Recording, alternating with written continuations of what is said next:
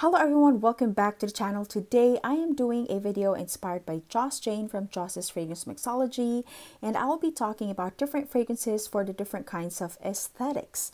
She actually filmed an aesthetics fragrance series. I'm going to link that playlist down below. We will be going over different kinds of aesthetics like maximalist, minimalist, bohemian, and romantic and I also added some of my personal choices.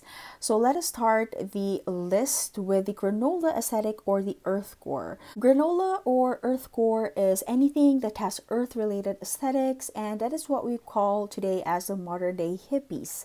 So I have one fragrance here that I immediately thought of when she talked about granola aesthetic and this one is Lily from the house of Theodoros Kalotinis. So this one, by the name, it is a lily fragrance. Aside from the strong lily in here, I get a lot of patchouli.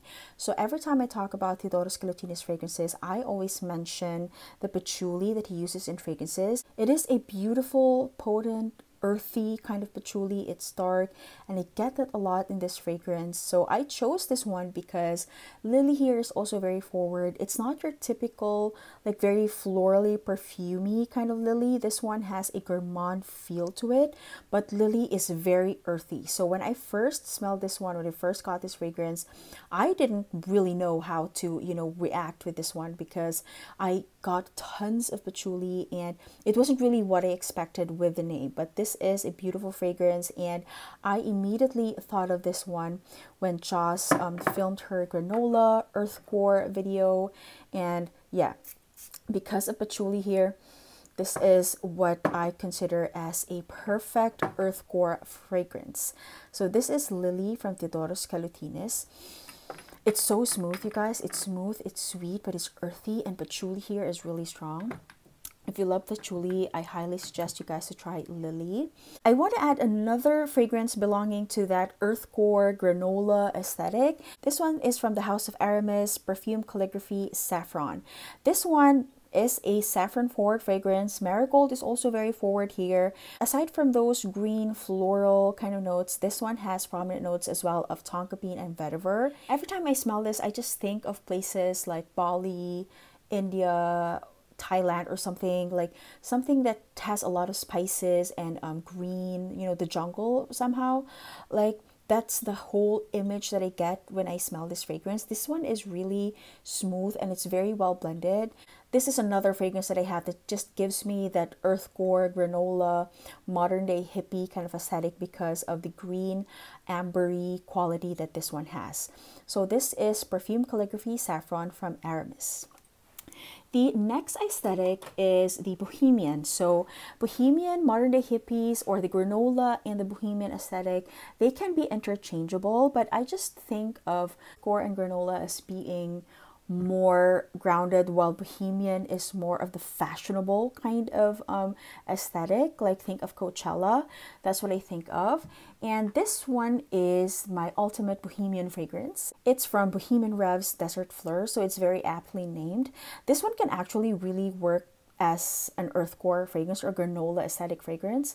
Um, this is a sweet vanilla patchouli scent, but I chose this one for the boho aesthetic because of the name. It comes from Bohemian Revs. This one is really nice as well. I love this fragrance. It's one of my most favorite. And every time I talk about this fragrance, I always say I'm going to get all the others from the house, but I always, you know, forget to get them. Oh, this is so good. This is a very friendly kind of a patchouli scent because it has tons of vanilla here. And vanilla here is more that kind of a natural vanilla. It has some green qualities to it as well green floral facets. So i don't really know all the other notes but i know this one has um, strong notes of vanilla and patchouli. And i have another one. This is flora botanica. I thought of this one as a modern bohemian kind of scent only because this is very green and aromatic and spicy. It is not a scent profile that you know everyone would really love right away but you know it's unique enough for you to be really interested in trying it aside from you know mint and rose and other greener aromatic notes. This one also has cannabis. Because of that, I thought of it as a bohemian kind of scent, but in like a very modern kind of way. Like think of Vanessa Hudgens. Like this is the scent that I would think of, you know, for her as a bohemian, like a modern bohemian kind of scent. So this is Flora Botanica from Balenciaga. And I have another one. I keep on adding fragrances. This one is Behold Patchouli from Gallagher Fragrances. This has orange citruses, frankincense, chocolate. You guys can read it here. Patchouli, honeyed amber, and musk.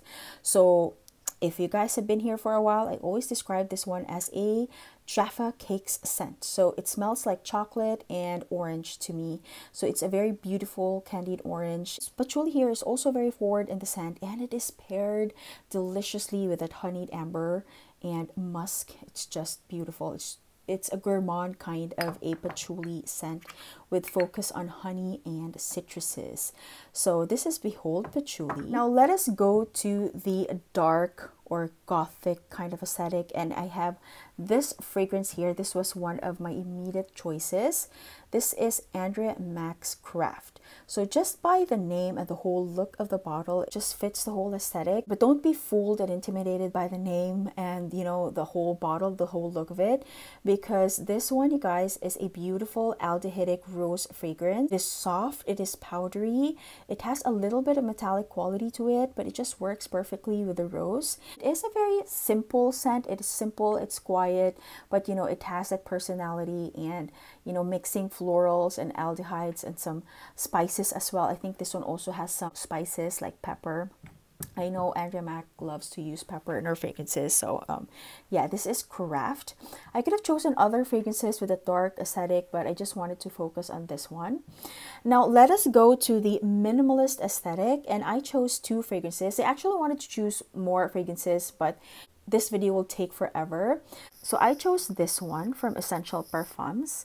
I have been loving this. This is the musk and this one is mainly a musk and lavender kind of a scent. It's really beautiful. It's simple.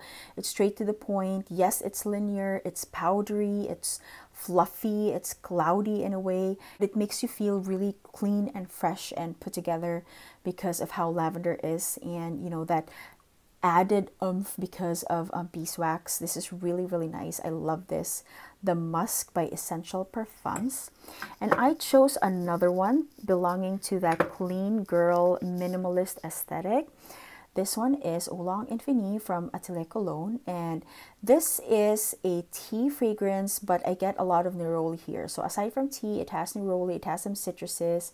Just like with the musk, this one is straight to the point it's simple, it's clean, and just the whole look of the bottle, the juice color, it just makes you think of, you know, white shirts, or makes me think of white shirts and, you know, simple kind of a personality, you know.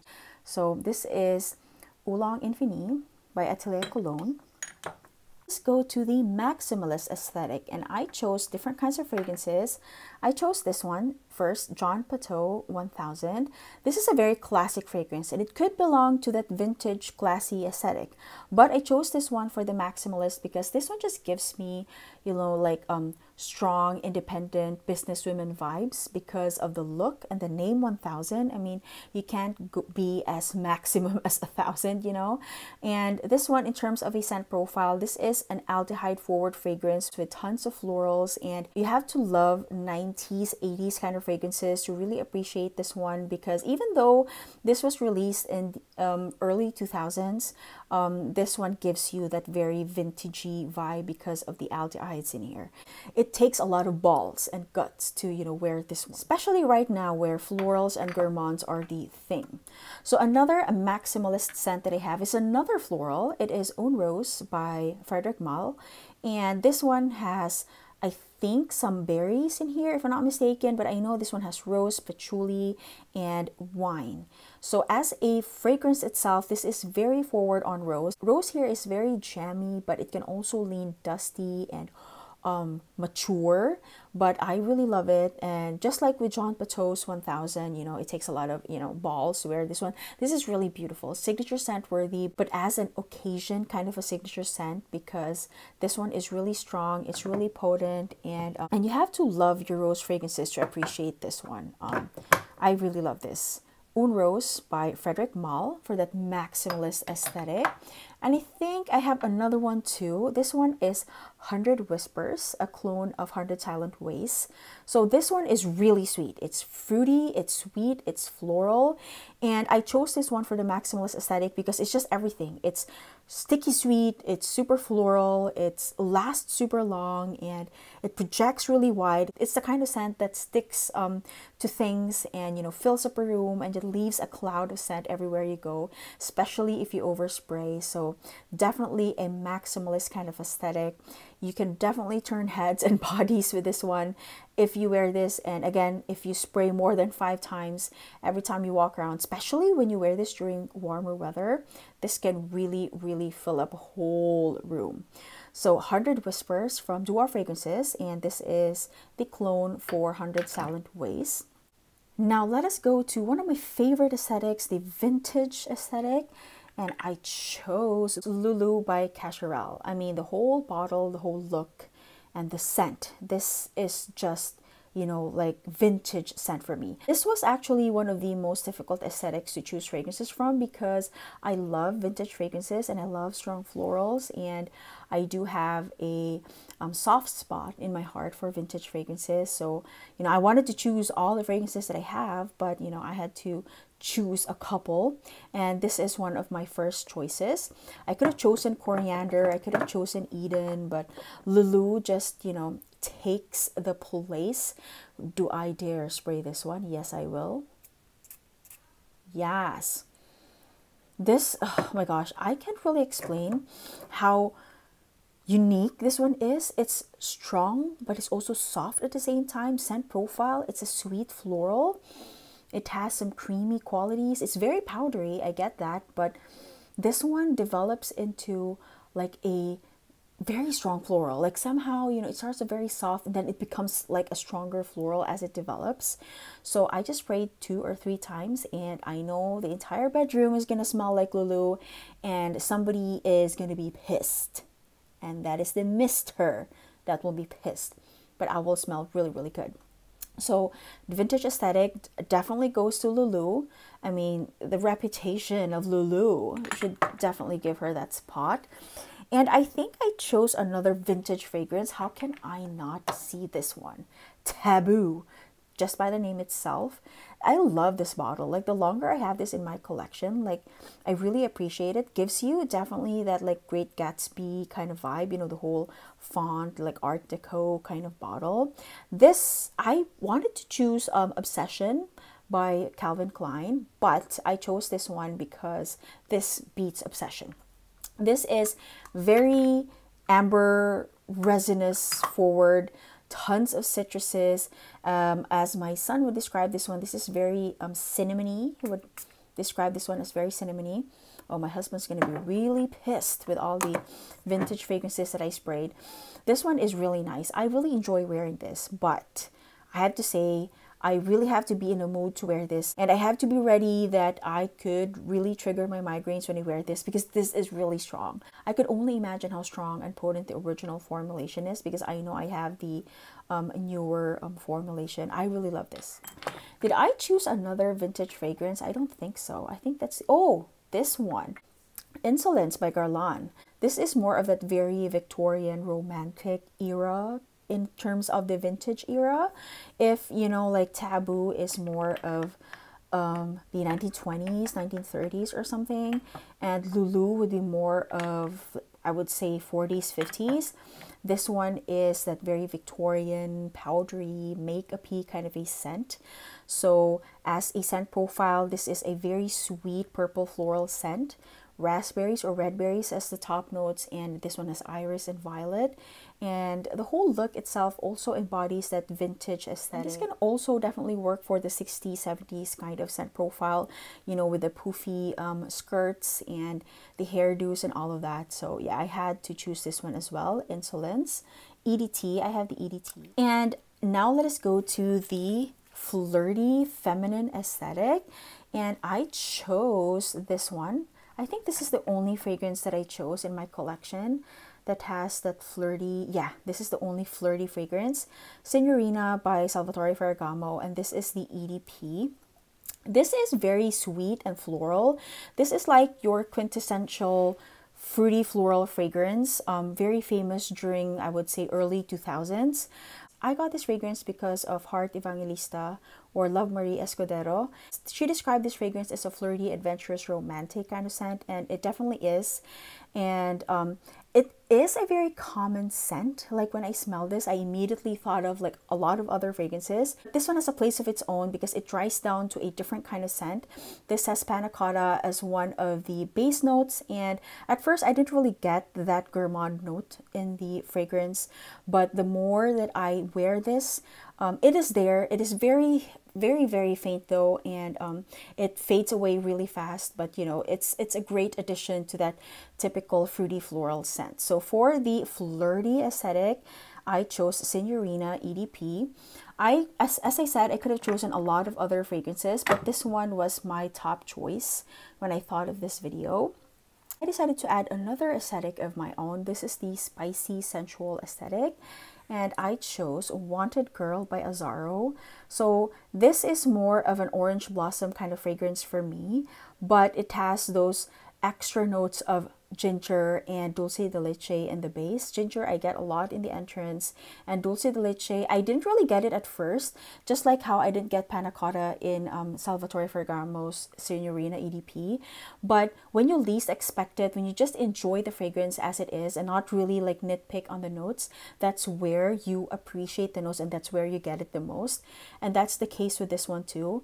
Like I just bathed myself with this fragrance this is really, really nice. I wish this one lasted way longer than it does on my skin. I guess this one performs better during cooler weather. I'm not really so sure, but you know, I do get a good half a day with this one. So definitely syrupy, caramelly sweet with a body of orange blossom and it has that spice of ginger.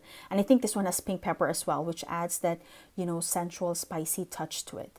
So this is azzaro wanted girl. The last fragrance for today's video and the second one that i chose for the sensual spicy aesthetic this one is pure honey from kim kardashian. This is one of her i think early 2000s fragrances. Um, I honestly was drawn to this one because of the bee. It's really cute. Look at that cute little bee in there. Pure honey. Um, this is a heavy bottle. If, if I can just move my tray a little bit. This is super heavy and the cap is plastic. So definitely not hold it by the cap. And um, as a scent, this is a strong white floral. Like I am super excited to try more Kim Kardashian fragrances. I will probably do that after my summer vacation this fall time. I will try the other um, Kim K fragrances from early 2000s. This one fits that spicy, sensual aesthetic. Even though it doesn't have spicy notes in it, this one has tons of um, beeswax and honey. It's more of a very honeyed white floral fragrance. I love this. Somehow it's a very calming scent for me to wear. Um, it is very strong. It is potent. It lasts super long. This one, as it dries down, it becomes a softer kind of a floral and it focuses more on honey. So just by, you know, the whole bottle, the name Pure Honey, and the whole imagery of Kim Kardashian, you like, I think of this one as a Sofia Vergara and this one is Kim Kardashian. So yeah, pure honey for that sensual, spicy aesthetic. That is it for today's video, you guys. These are the fragrances that I chose for the different kinds of aesthetics. Don't forget to click the like button if you did enjoy today's content. If you are not yet subscribed to the channel, I hope you do consider subscribing, help my channel grow. Like I always say in every single video, have fun, much love, stay safe, and see you in the next